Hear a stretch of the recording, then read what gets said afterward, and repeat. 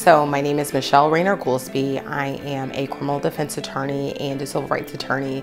This weekend has been tremendous. And not just, oh, because I'm learning how to systematize my law business, which I am, but Allison also provides mindset. There's always a reason why we systematize our law business. And one of the things about Allison is that she is so free with the knowledge that she has. Like she gives it out. It's, you know, there's, she's not hiding the ball from you. She's not like, oh, I can't tell you you that she really does want you to be successful. And it's very evident in the way that this weekend was put together from the packets to the books to the presentation.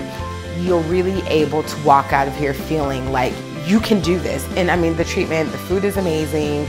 Allison and her team are amazing. It's just been a really tremendous weekend. It is well worth, you know, trekking up in the cold from Florida to learn from Allison and learn from her team.